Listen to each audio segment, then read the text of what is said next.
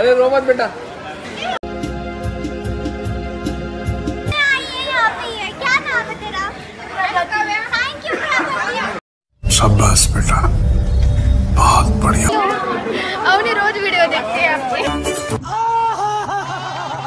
जब ऐसे मेरे फैंस आते हैं ना मुझे बहुत अच्छा लगता है। और जब मेरे लिए वो रोते हैं ना तो मुझे ऐसे लगता है कि यार कितना प्यार करते हो आप सब लोग मुझसे। थैंक यू सो मच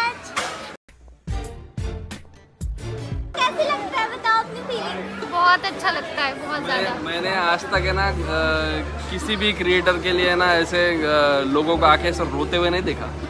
मैंने भी नहीं देखा। हाँ, काव्या के लिए भी देखा है मैंने लड़कियों को आके रोते हुए फिर